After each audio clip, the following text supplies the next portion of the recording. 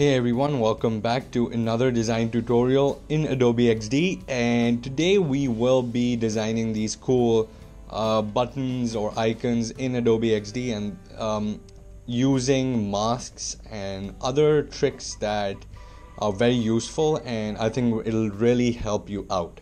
So without further ado, let's just get started. To start off, I will create a very simple artboard which will be the web 1920 by 1080 artboard.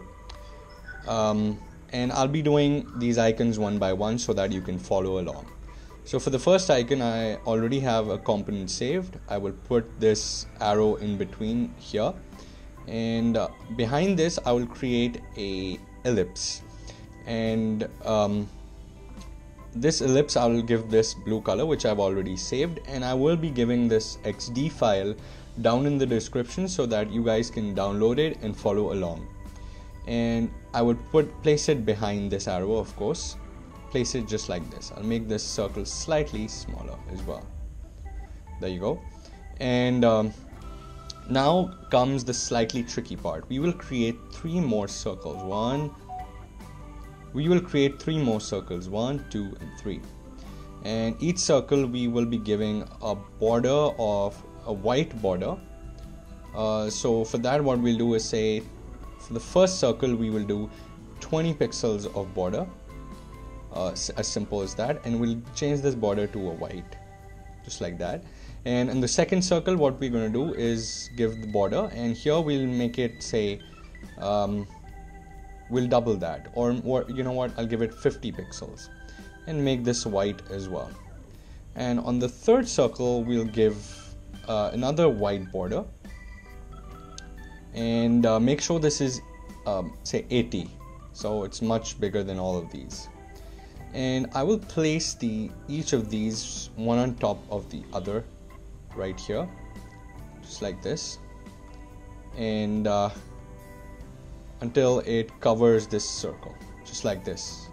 So if I go to the panel right here which shows my layers I, I can see these three ellipses on top and one ellipse at the bottom. So what I'm going to do is just select all three of these and what I'm going to do is group them. And I will create another circle another circle which is more or less the same size as the circle at the bottom. So these circles have the width of um, 545 so or diameter of 545 so I'm going to do this is 545 same as these circles and place them in the center of these circles just like that. And what I'm going to do is I'm going to select all these elements that we have here. And so all these elements are selected including the ellipse on top. And I'm going to say command shift M or control shift M to mask all of these together and now comes a slightly trickier part is I'll have to select all these ellipses which I had grouped earlier. And I'll have to make sure that the the topmost is the absolute biggest circle. So just make it like a really big circle just like this. And place it in the center just like so. Perfect. And I'll go again. And the the one beneath this has to be well I won't say the biggest uh, it should be slightly smaller than the one on top.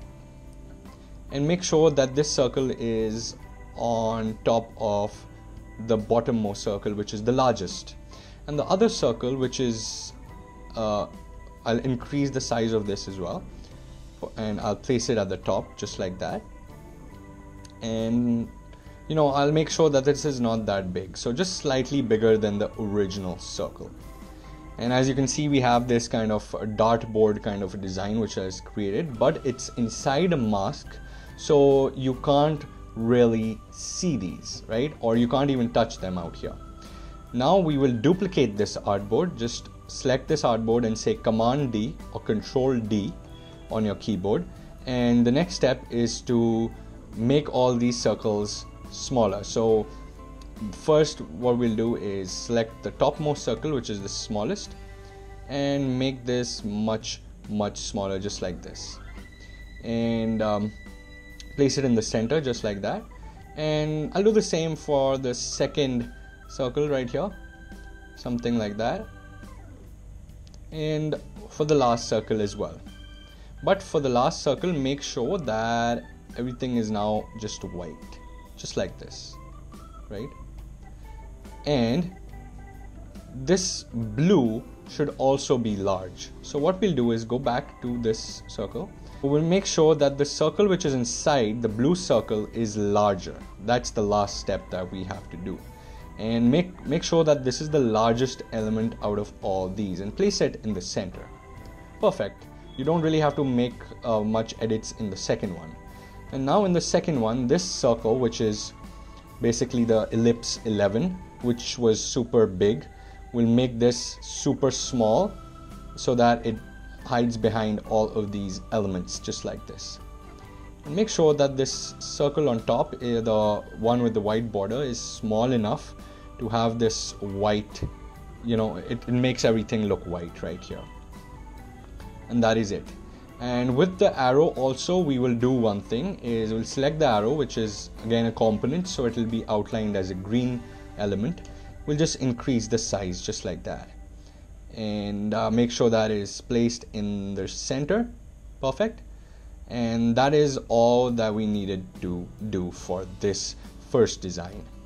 Uh, one last step is to prototype it. So if I go to prototype mode here I click on this circle and I move this arrow to the second artboard right here.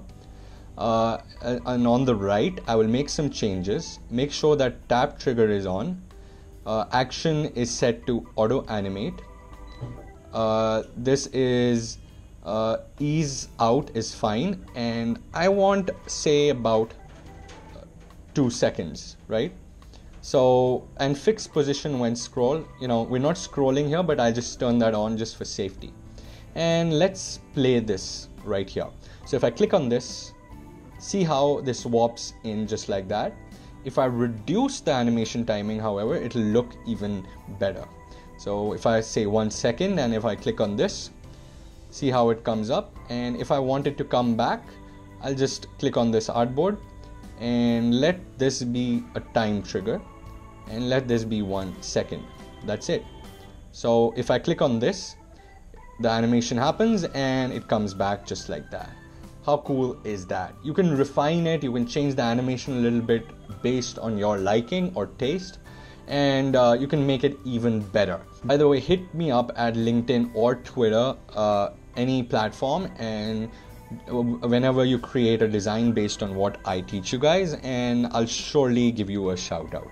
Okay, so for the second design, what we will need is a complex icon, which I already have. This is a basic aperture icon, and I'll just ungroup this uh, component. There you go, and I'll just group this so now this complex uh, icon has been put in you can I've downloaded this from Feather Icons if I can just quickly show you. Feather Icons is a cool open source library for icons you can just pick up and get started. That's pretty cool. Uh, now here what we're going to do is we're going to create circles and we're going to create small tiny circles right here just like this and we're going to put one on each of these axes right so wherever both of these meet we're going to put one each just like that and there you go. And the last one we'll place it here. Perfect. Now that we have all of these aligned let me just line them properly. Make sure they're aligned based on each other. And that is uh, the entire trick. Now what we'll do is select all of these little circles. And what I'm going to do is on the right panel here we have an add element icon here. So what I'm going to do is click on this add and now uh, Adobe XD will treat it as one element. So you, if you expand it the animation will happen simultaneously. So what I'm to do is I'm to reduce the opacity of these circles what I'm to do is I'm to select the icon as well as these circles which is now one element. And I'll say command shift M or control shift M to mask this. Now what we have here are these super small circles to make sure that something like that doesn't exist. We'll just um, reduce the opacity right here first right? Or what we'll do is reduce the opacity in the last step. No issues. So we'll just duplicate this artboard by clicking command D or control D. And uh, once I've done this now I will have to do a little bit of masking trick right? So first of all double click on one circle here first and make sure that it increases in size just like this. And make sure it is covering certain inner parts as well. Now the second circle what I'm going to do is create it much bigger than the first. That is how uh, you know a delayed transition can happen in Adobe XD and that is what I'm gonna do with each one of these circles. Just increase it in size and make sure that the next circle is larger than this first one and if you have any trouble selecting these you can select this from the layers panel itself. So for example if I want to select 16 I'll select this and increase the size just like that. And even if it's overlapping don't worry no issues. It will still uh, contribute to the effect. So make sure that each one is quite big as compared to the previous uh, circle. So just make sure that you have like a bunch of large circles. It can be as, as large as you want. Yeah just like that.